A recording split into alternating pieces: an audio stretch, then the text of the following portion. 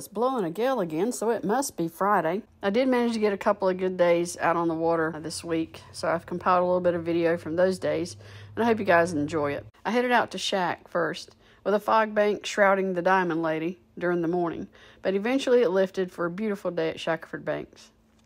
There were lots of locals that were grazing on the spring sprouts, and the shore was full of shells with the recent storms. I watched a pod of dolphins feeding along the outer edges of the sandbar that flanked the southern shores of Shack. The exposed cedar stumps you're seeing here are from an ancient maritime forest that existed during the last ice age. At low tides, these cedar stumps are still exposed.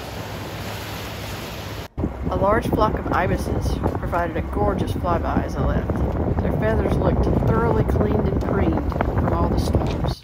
Back in the Rachel Carson Reserve, I found a juvenile ibis preening along the shore, with an adult white ibis and a tricolor heron close by.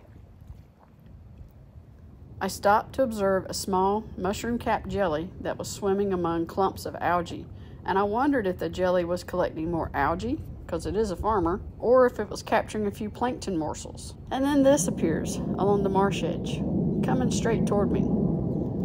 This juvenile loon was conducting a fishing cruise and seemed not at all concerned by my presence. He just kept swimming and fishing.